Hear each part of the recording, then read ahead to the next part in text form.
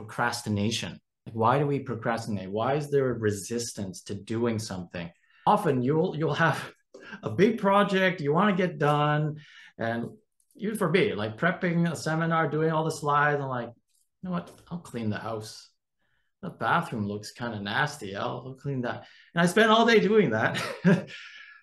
so I've learned that procrastination and distractions and all these other things is a trauma response. What you feel doing that thing is causing a stressful, you know, feeling to say it's not safe. It's not safe in the unconscious. So how do I get safety? Let's get a dopamine hit with the phone. Let's get this. Uh, oh, wow, this is something I do need. I'm going to excuse myself from a stressful experience by creating and attaching a new state to something else.